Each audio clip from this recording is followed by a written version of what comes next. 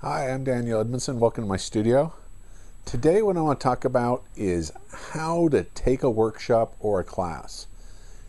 And that might seem like it's kind of a silly topic for a discussion, but I've done so many workshops over all the years with so many very talented artists.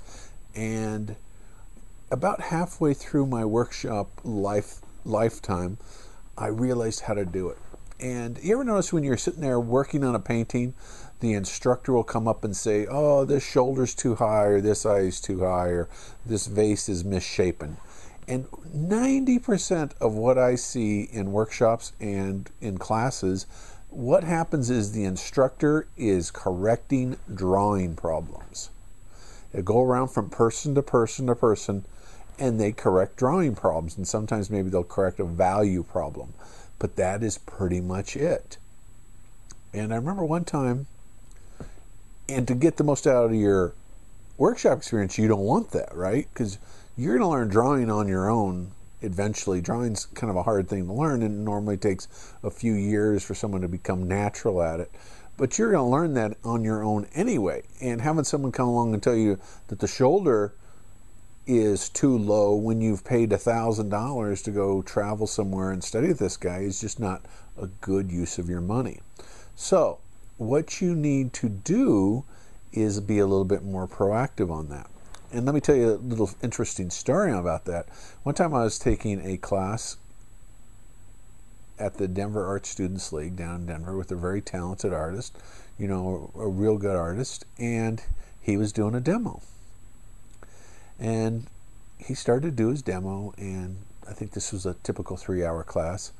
And about an hour into it, I started to notice people started drifting off and going and working on their own paintings, right?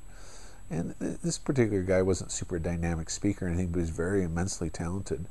So he definitely had a lot of good information. We just you just had to know how to pull it out of him. So what happens before I knew it, people, more and more people would trickle back and start working on their paintings until it was just me by myself watching him do his demo. So I um, saw that as my opportunity. So I asked him important things like, "What's your philosophy on color harmonies?" And then he'd respond. What was your What's your philosophy on value structure? And he'd respond, "What's your what's your philosophy on brushwork?